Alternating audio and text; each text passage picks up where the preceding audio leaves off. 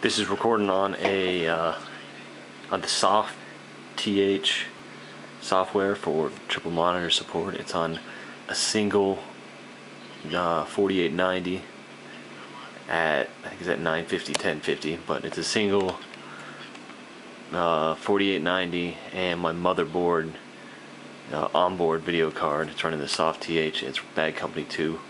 It's on 5760 by 1080 and it's running at a steady probably I, I had Fraps open earlier but it shut it down or it was causing some errors.